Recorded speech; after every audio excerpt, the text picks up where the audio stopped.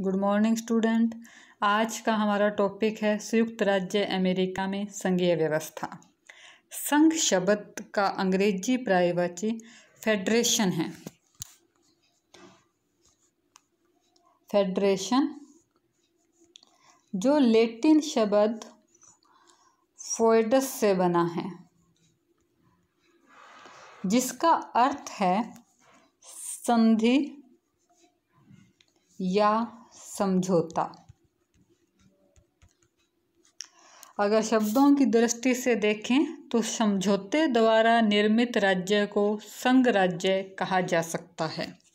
संवैधानिक दृष्टि से संघात्मक शासन का तात्पर्य एक ऐसे शासन से है, जिसमें संविधान द्वारा केंद्र और इकाइयों की सरकारों में शक्ति विभाजन होता है। ये शासन व्यवस्था जो शक्ति विभाजन के ऊपर आधारित है। एक ऐसा प्रबंधन कर दिया जाता है कि दोनों पक्षों में से कोई एक अकेला उस शक्ति में परिवर्तन न कर सके। डाइसी ने कहा है, एक संघात्मक राज्य एक ऐसे राजनीतिक उपाय के अतिरिक्त कुछ नहीं है, जिसका उद्देश्य राष्ट्रीय एकता और राज्य के अधिकारों से मेल स्थापित करना है। तो ये हमने देखा कि संघात्मक शासन क्या है। इसको गार्नर ने बहुत अच्छे शब्दों में स्पष्ट किया है। उन्होंने कहा है, संघ एक ऐसी शासन प्रणाली है जिसमें केंद्र और स्थानीय सरकार एक ही प्रभुत्व शक्ति के अधीन होती हैं। ये सरकारें अपने अपने क्षेत्र में, जिसे संविधान अथवा संघ का कोई कानून निश्चित करता है सर्वोच्च होते हैं।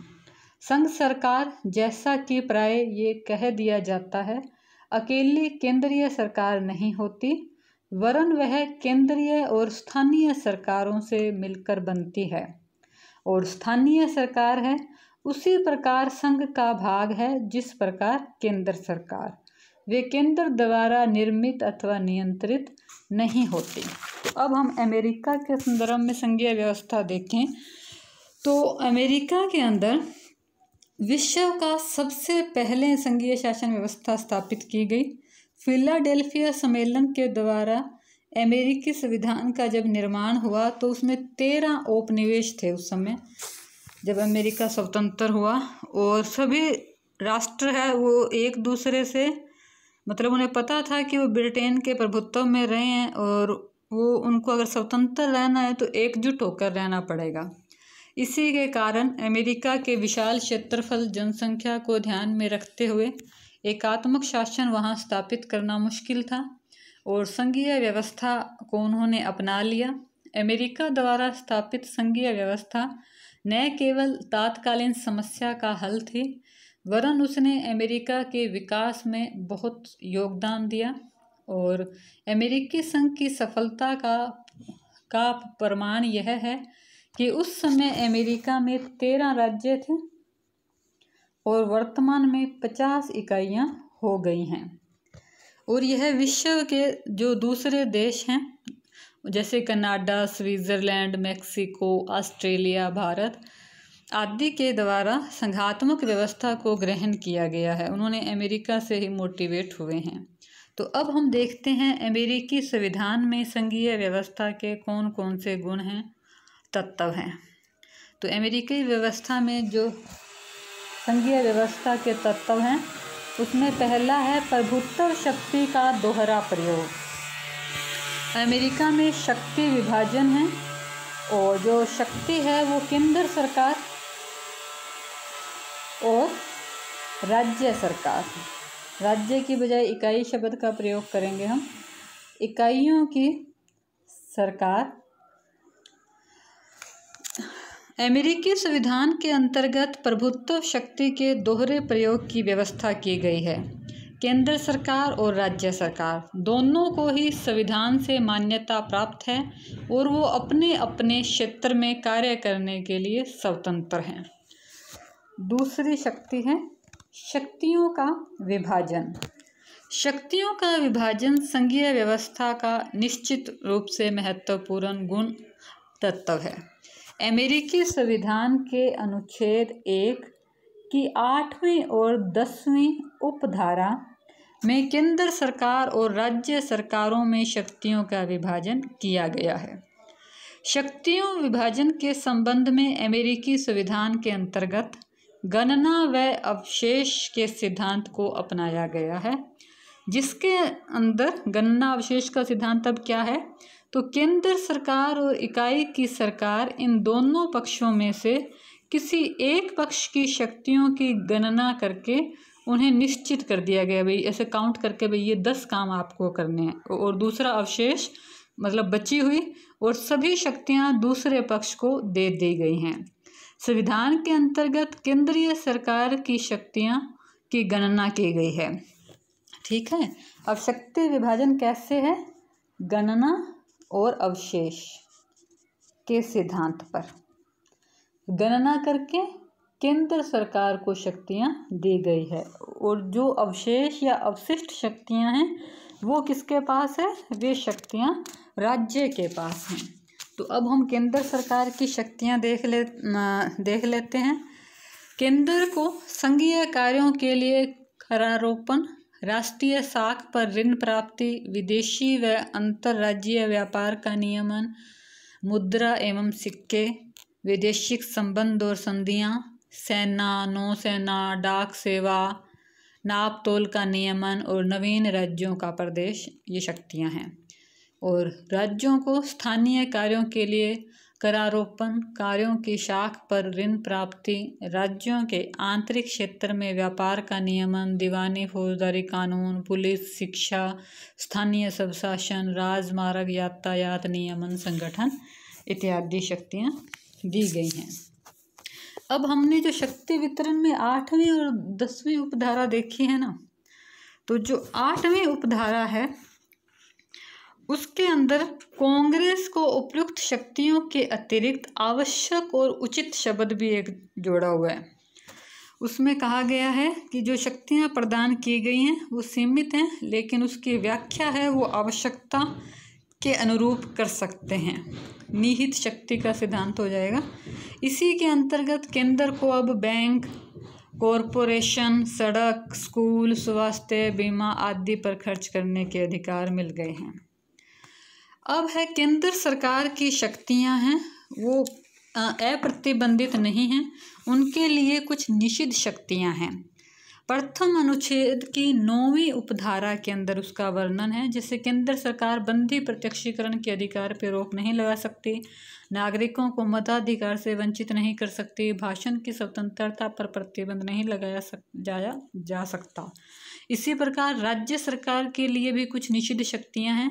उसका केंद्र का तो है अनुच्छेद एक की नौवीं उपधारा में और राज्य का एक की दसवीं उपधारा में है। इसमें है, राज्यों के द्वारा विदेशियों के साथ संधि या समझौते नहीं किए जा सकते।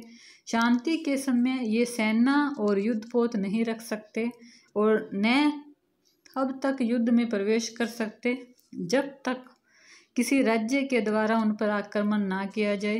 कांग्रेस की सहमति के बिना राज्यों के द्वारा दूसरे देशों के साथ आयात निर्यात का संबंध भी स्थापित नहीं किया जा सकता। अब नेक्स्ट गुण है संघात्मक का संविधान की सर्वोच्चता। क्योंकि संघात्मक शासन व्यवस्था में केंद्र और राज्यों में शक्तियों का बंटवारा होगा तो ये बंटवारा किसके द्वारा किया जाएगा? और उनके अंदर अगर मतभेद हो जाए तो उसके लिए कौन मतलब उसका फैसला करेगा? तो कुछ आवश्यक चीज़ें हैं। तो इस आवश्यक के अंदर है, संघ राज्य का यह संविधान सर्वोच्च हो। केंद्र सरकार, इकाई की सरकार और राज्य के विभिन्न अंग संविधान के प्रतिकूल किसी प्रकार का कार्य नहीं कर सकते। अमेरिका में संविधान की सर्वोच्चता के सिद्धांत को अपनाया गया है। अमेरिका का सर्वोच्च कानून संविधान है और राष्ट्रपति, कांग्रेस, न्यायालय, संघ की इकाइयाँ सब उसके अधीन हैं। संविधान की सर्वोच्चता का प्रावधान अनुच्छेद छः के अंदर किया गया है। न्यायपालिका की सर्वोच्चता। संघीय संघीय राज्यों के अंतर्गत एक स्वतंत्र और सर्वोच्च न्यायपालिका होती है। जिसका काम संविधान की व्याख्या और रक्षा करना होता है। अमेरिका में न्यायिक सर्वोच्चता के सिद्धांत को अपनाया गया है। सर्वोच्च न्यायालय संविधान का उल्लंघन करने वाले कांग्रेस के कानूनों और राष्ट्रपति की आज्ञाओं राज्य सरकार के कानूनों और कार्यों को अवैध घोषित कर सकता है। इसे न्यायिक पुनर्वालोकन कहते हैं। उनकी संविधानिकता की जाँच की जाती है। दोहरी नागरिकता। दोहरी नागरिकता का अर्थ है संघ और राज्य, सरकार की नागरिकता। प्रत्येक व्यक्ति केंद्र सरकार का और राज्य सरकार का नागरिक होगा, जिसमें वह रहता है। जैसे अपने भारत में देखें तो अगर भारत में दोहरी नागरिकता का सिस्टम हो तो एक हमारी नागरिकता है भारत की और दूसरी, जैसे हम राजस्थान में हैं तो राजस्थान की पंजाब के नागरिक हैं, उनकी पंजाब की हो जाएगी। अमेरिकी संविधान में दोहरी नागरिकता को अपनाया गया है। वहाँ प्रत्येक व्यक्ति की दो नागरिकताएँ हैं। पहली, संयुक्त राज्य अमेरिका की नागरिकता और दूसरी, उस राज्य की नागरिकता जिसमें वो निवास करता है। उदाहरण के लिए कोई व्यक्ति न्यूयॉर्क में रहता है तो न्यूयॉर्क की नागरिकता हो जाएगी। संघीय व्यवस्थापिका में द्वितीय सदन में इकाइयों को समान प्रतिनिधित्व। संघात्मक शासन व्यवस्था के ये गौण लक्षणों में आएगा कि जो केंद्रीय व्यवस्थापिका है, उसके दो सदन होंगे और दूसरे सदन में सभी राज्यों को समान प्रतिनिधित्व दिया जाएगा। तो अमेरिका में कांग्रेस के दो सदन हैं, पहला प्रतिनिधि सभा और दूसरा सीनेट। और सीनेट में सभी राज्यों को समान प्रतिनिधित्व दिया गया है और प्रत्येक राज्य दो प्रतिनिधि भेजता है। राज्यों की अनुमति के बिना किसी भी राज्य को उसे सीनेट से प्राप्त प्रतिनिधित्व से वंचित नहीं किया जा सकता। नेक्स्ट विशेषता है, राज्यों की प्रादेशिक अखंडता का उल्लंघन नहीं किया जा सकता।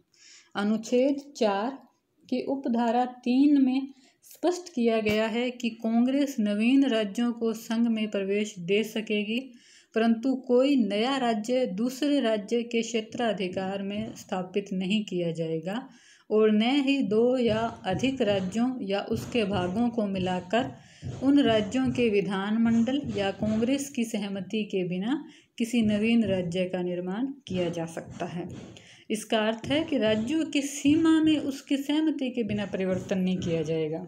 राज्य सहमत होंगे तभी उसके अंदर परिवर्तन किया जाएगा। और राज्यों को उचित महत्व दिया गया है। जैसे हमने कल देखा था कि संविधान संशोधन है, उसकी पुष्टि के लिए राज्यों का तीन चौथाई बहुमत चाहिए और राज्य दो तिहाई अपनी सहमति से संशोधन के लिए प्रस्ताव भी ला सकते हैं। और अमेरिका की संघीय व्यवस्था में सभी राज्यों का अपना अपना संविधान है। राज्यों के संविधान पर केवल एक शर्त है कि वो संविधान संघ के विरुद्ध नहीं होना चाहिए। इसमें गणतंत्रात्मक शासन व्यवस्था के अतिरिक्त किसी और शासन प्रणाली को भी नहीं अपनाया जाए। अमेरिका में राज्यों के गवर्नर की नियुक्ति भारत के समान राष्ट्रपति द्वारा नहीं की जाती, जैसे हमारे राज्यपाल की नियुक्ति है। वो केंद्र सरकार करती है ना, ऐसे अमेरिका में नहीं होता है। वरन वे संबंधित राज्य के नागरिकों द्वारा चुने जाते हैं। वहाँ राज्यपाल की नियुक्ति भी वहाँ, जिस राज्य में राज्यपाल बनाया जा रहा है गवर्नर, वहाँ के नागरिक चुनते हैं। राज्य के इन गवर्नरों को राष्ट्रपति पदाच्युत भी नहीं कर सकता। जैसे हमारे तो राज्यपाल राष्ट्रपति के प्रसाद पर्यंत हैं, लेकिन अमेरिका में राष्ट्रपति उनको हटा नहीं सकता। संबंधित राज्य उनको हटाएँगे कैसे? जिस राज्य का राज्यपाल है कि विधानमंडल महाभियोग के आधार पर ही राज्यपाल को हटा सकते हैं। उपरोक्त जो हमने विवरण देखा, उसके आधार पर कहा जा सकता है कि अमेरिका संविधान के द्वारा न केवल एक संघ राज्य, वरन विहर के शब्दों में में एक आदर्श संघ राज्य की स्थापना की गई है और स्ट्रोक के द्वारा भी संयुक्त राज्य अमेरिका के संविधान को विश्व का सर्वाधिक पूर्ण और संघात्मक विधान कहा गया है।